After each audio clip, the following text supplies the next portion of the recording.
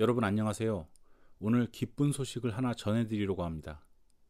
지난 일주일간 91세 여사님이 노래하시는 영상에 많은 분들이 관심을 가져주셨는데 바로 그 여사님께서 오는 9월 24일 토요일 저녁 7시 수안보 온천 가요제에 특별 출연하신다는 소식입니다.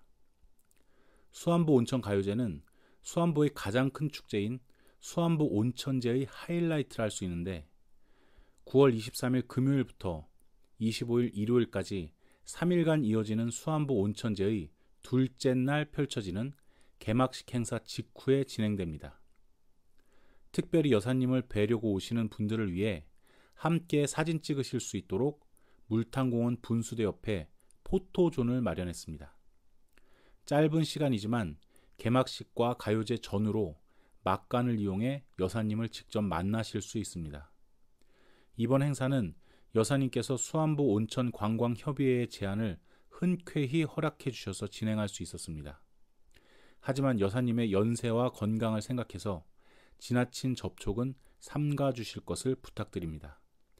부디 수안보에서 즐거운 추억을 쌓는 시간 되시기 바랍니다.